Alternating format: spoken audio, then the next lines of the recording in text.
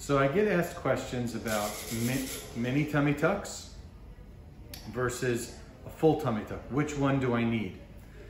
And the very simple answer to that is if you have loose skin from your belly button down to your vagina or penis in this area, in the lower third of your stomach, then a mini tummy tuck would work.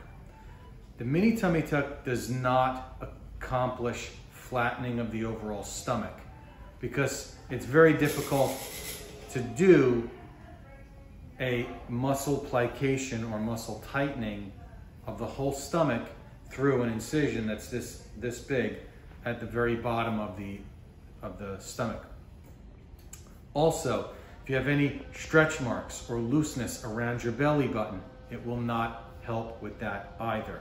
So there's very, very specific indications for a mini tummy tuck, especially if you have loose skin where you have a fold.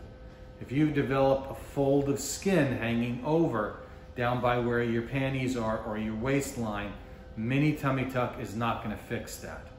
So very specific uses for a mini tummy tuck versus a full, and I'll discuss a full tummy tuck in another video.